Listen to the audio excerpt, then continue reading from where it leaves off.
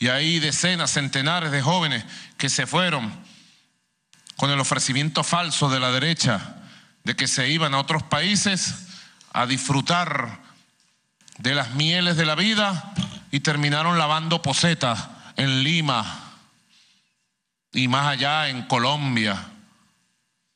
Me perdonan, esta expresión es fuerte, pero la digo. Terminaron lavando posetas, terminaron como esclavos y mendigos. Y yo le tiendo mi mano a esa juventud del plan Vuelta a la Patria y le entrego ese plan a ustedes, jóvenes, para que favorezcamos que ellos vengan a trabajar, a estudiar y a vivir en su tierra dignamente. Esclavos de nadie en el mundo seremos los venezolanos.